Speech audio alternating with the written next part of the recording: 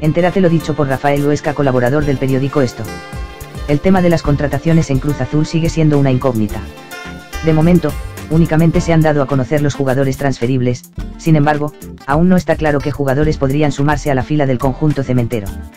El sector defensivo es probablemente una de las máximas preocupaciones de Thomas Boy de cara a la apertura 2016, por lo que Cruz Azul podría ir con todo por el central uruguayo de Pumas Gerardo Alcoba, el defensor gusta en la máquina y con la posible salida del Maza no caería mal su incorporación. Además, la presencia ofensiva y el carácter de Alcoba son características que vendrían bien a la última zona cementera. Aunque, de momento, la operación luce complicada, Pumas difícilmente se desprenderá del central. Por ahora es solo un gusto de la directiva azul, no hay nada concreto. Entre muchas de las necesidades que tiene Cruz Azul es encontrar un referente en la media cancha, que sustituya a El Chaco, un contención que releve a Torrado, pues ambos jugadores ya no están en su mejor momento y la edad ya les pesa para jugar en una liga cada día más veloz, esto fue Reporte Azul para la Red Periodismo, te informó tu amiga Laura Samudio.